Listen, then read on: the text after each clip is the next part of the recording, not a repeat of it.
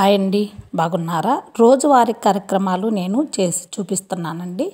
ఇలాగే ఉదయం లేవగానే మా అబ్బాయి ఎనిమిదికి ఎనిమిదిన్నరకే క్లినిక్కి వెళ్తాడు అందుకని నేను చట్నీ చేస్తున్నాను. చట్నీ అంటే కరెంట్ లేదండి. మాకు కరెంట్ లేనప్పుడు ఇలాగే రోటి పచ్చడిలాగా చేస్తాను నేను. పప్పులు అన్నీ వేసి ఇలాగా నూరి పెడతాను. టిఫిన్కి దోశలు వేద్దామని వేస్తున్నానండి. ఎగ్ దోశలు చూడండి. ఇలాగా. నేను పెద్దగా చదువుకోలేదండి. నాకేమీ అంటే ఆ కాలంలో అమ్మాయిల్ని బయటికి పంపించేవారు కాదు. పెద్దగా చదువుకోవటం కానీ పెద్దగా ఇంగ్లీష్ కానీ రాదు. అప్పట్లో చదువుకు ఇంత విలువ ఇంత వాల్యూ లేదండి. అప్పుడు చదువులు కూడా చాలా అంతగా పెద్దగా ఉండేవి కాదు. ఆరో తరగతి దగ్గర నుంచి ఇంగ్లీష్ ఉండేది. ఆరు నుంచి అంటే ఏబిసిడీలు స్టార్ట్ అవుతాయి. నేను ఏడో తరగతి అంటే ఇక అర్థం చేసుకోండి మీరు. ఏడవ తరగతికి నాకు చిన్న చిన్న పదాలే వచ్చేవి. ఇప్పుడు మాకు కరెంట్ వచ్చింది. చూడండి అటు వేస్తున్నాను. నేను మా అబ్బాయికి టిఫిన్ ఏర్పాటు చేసి నేను అంత పైన అంత పని అయిపోతుందండి. అంట్లు తోమటం ఇలాగా బట్ట తడిగుడ్డ వేయటం అన్నీ నేనే చేసుకుంటాను అనమాట ఇవా అన్ని అయిపోయిన తర్వాత మా అబ్బాయికి టిఫిన్ వేసి ఇచ్చి ఇంకా నేను మళ్ళీ స్నానానికి వెళ్ళిపోయి స్నానం అయిపోయిన తర్వాత తర్వాత ఇక పూజా కార్యక్రమం ఉంటుందండి. పూజది అయిపోయిన తర్వాత నేను మిషన్ కుట్టడం అలాగ అన్నీ చూపించాను. నేను ఎక్కడ క్లిక్ చేయకుండా వీడియో చూడండి. ప్లీజ్ అండి నా ఛానల్ సబ్స్క్రైబ్ చేయండి షేర్ చేయండి కామెంట్స్ పెట్టండి. కొత్త వారు ఎవరైనా ఉన్నారు అంటే బెల్ ఐకాన్ నొక్కారంటే వెంటనే నోటిఫికేషన్ వస్తుంది. చూడండి నేను రోజువారీ కార్యక్రమాలు ఎప్పుడు పూజలేనా మీ ఇంట్లో ఏం జరుగుతుంది ఎలాగా అని అనుకుంటారు కదా అందుకనే నేను పెడుతున్నాను. ఇవాళ మా ఇల్లు ఇదివరకు చిన్నదేనండి. మేము ఉండేది ఇప్పుడైనా రెంట్ హౌస్ మాకు సొంత ఇల్లు లేదు.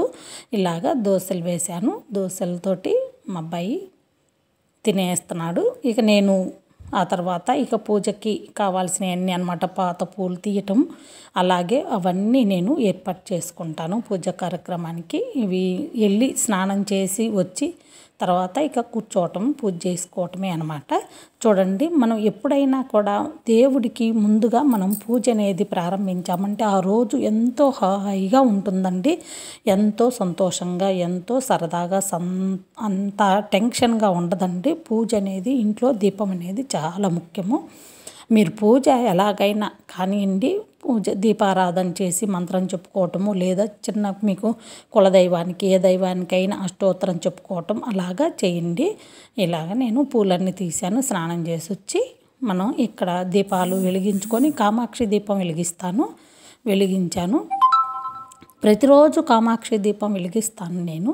ప్రతిరోజు నిత్యం కూడా చేస్తాను. అలాగే మనకు మూడు ఒత్తులు వేయాలంట కదా నేను ఇక్కడ పూలు కోసుకొచ్చుకుంటానండి బయటకు వెళ్ళి మాకు అద్దిల్లు కదా పూల మొక్కలు అవేమీ దొరకవు. ఇదివరకు అయితే నాకు పూలు బాగా మాకు ఉన్న ప్లేస్లో ఉండేవి. మొక్కలు అవి పెట్టుకొని పూలు మేమే పూజించుకొని మేమే పూజ చేసేవాళ్ళం ఇప్పుడు అలా కాకుండా ఇలాగా ఇక పూజ అంతా అయిపోయింది.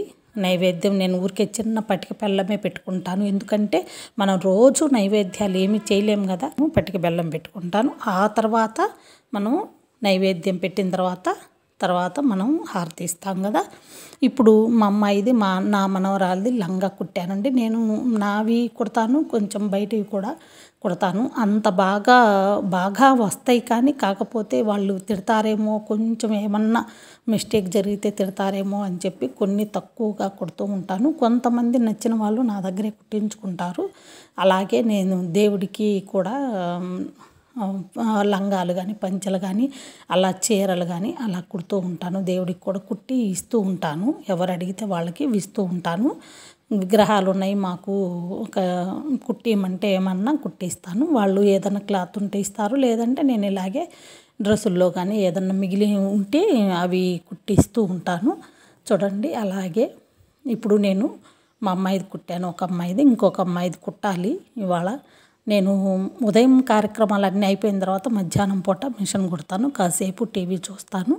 ఇక అలాగే నా రోజువారి కార్యక్రమాలు ఉంటాయండి. ఇక ఆ తర్వాత వంట చేసుకోవటం. మళ్ళీ మధ్యాహ్నానికి భోజనం రెడీ చేసుకుంటాను. ఉదయం ఏమీ చేయను. మాకు ఇదివరకు చిన్నపిల్లలు ఉన్నప్పుడు అలా చేశాను ఇప్పుడు అంత ఏమీ లేదు. థ్యాంక్ యూ అండి.